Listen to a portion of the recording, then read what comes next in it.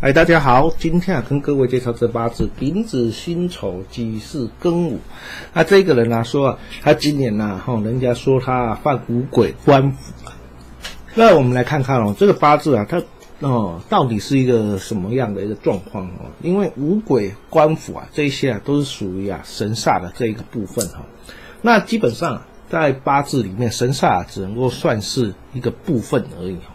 它只能算一个部分，而不能够呢说是一个整体八字。所以说，你用某部分的资资讯来推论的时候，其实呢，哎，它有点哦会失准哦，甚至有点偏颇。那我们来看看啊，这个八字，其实呢，我们来看哦，这个八字啊，丙辛一合，然后它这边又出现甲己一合，那在这里呢，它就出现了一个叫做，哦，有没有看到甲己合？夹起一合的时候，他日主就已经有怎样暗藏的一种压力来欺负他，但是合又是不讲破的一个状况，所以呢，他就会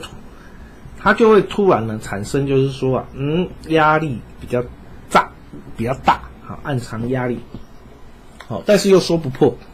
他就不知道为什么，他就会感觉到闷闷的，啊，那一旦呢，当呢这个己土被受伤的时候呢？好，因为呢，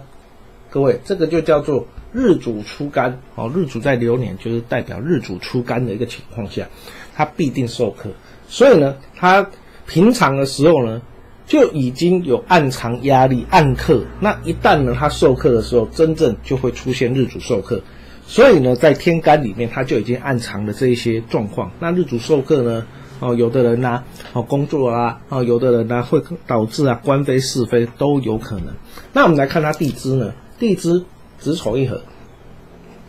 火来生土，克水，地支又破财，所以我们就会知道说，他在今年来说，哦，他就出现日主受克，然后呢，地支又破财。所以在今年来讲啊，对他来说非常非常的哈，不是很有利啦，哦，对他来讲没有很有利，哦，反所以呢，他今年反而要特别特别谨慎保守，好，要特别谨慎保守，因为毕竟来讲日主授课嘛，哦，日主授课所有的一个事情呢就已经不太顺顺遂了，那再加上呢，好，再加上他又破财，哦，所以来讲的话，那这个状况呢，要等到明年。但是明年来讲的话，它的一个破财还是一样哦，依依旧存在，并没有消失。但是呢，